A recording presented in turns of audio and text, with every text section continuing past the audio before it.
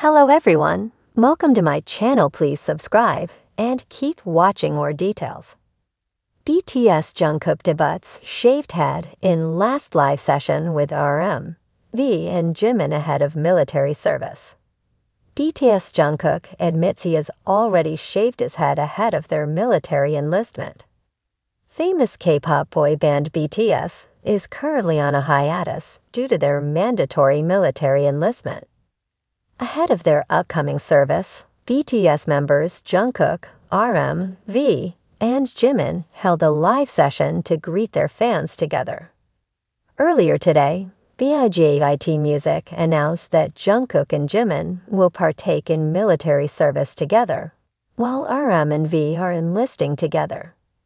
During the Weverse Live, they discussed their mixed emotions, leaving fans emotional. Jungkook talked about how he wishes to return to the music scene as soon as possible. The 26-year-old K-pop idol also hinted at live concerts after their military enlistment ends. As the group discussed the hair transformation of fellow members, V addressed his shorter than usual hair and said that he hadn't shaved his head, yet due to some of the remaining schedules.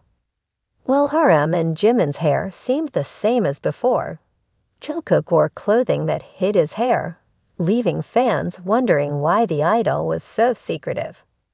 The Seven singer surprised fans when he admitted to shaving his head. Although he didn't initially show his bald head despite fans' requests, he briefly ran past the camera without his hoodie towards the end of the session. This was enough for the ARMYs to notice his new hairdo. Many even took screenshots and shared the pictures on social media. One fan wrote on X, formerly Twitter, The Lastets live until June 2025 ending with Jungkook. Running in front of the camera, screaming Bangtan Sonyeondan is very, very on brand.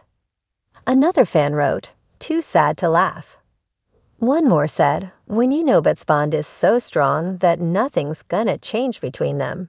But then you watch their live, and then you see there's nothing changed between them, even though you knew nothing will change.